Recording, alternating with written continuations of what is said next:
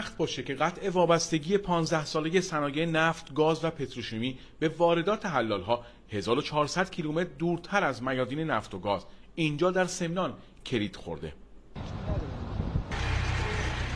همین مواد با همین کیفیت و حتی بهتر که قبلا تعیین می‌شد شاید با یک پنجم هزینه برای مملکت داره تعمین میشه واحدی که با تولیدات انگشت شمار در آغاز کار بعد سی سال به بزرگترین تولید کننده حلال های شیمیایی کشور تبدیل شده. تولید مواد شیمیایی مربوط به ضد رسوب، ضد خوردگی، شکنای صنایع نفت و گاز. این مخازن همه پلی اتیلن تو پلی اتیلن ها موادی که پایه هاشون اسید استفاده میشه ما تولید انجام میدیم. این سفارش مال سفارش پتروشیمی مارونه.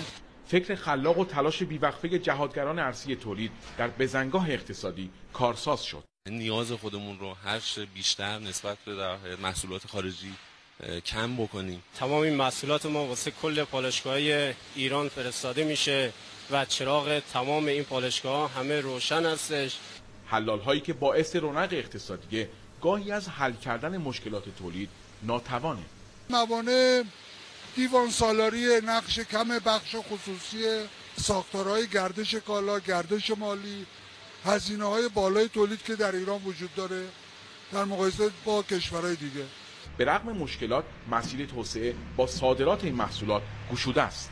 ما به عراق و ترکمنستان صادرات داشتیم.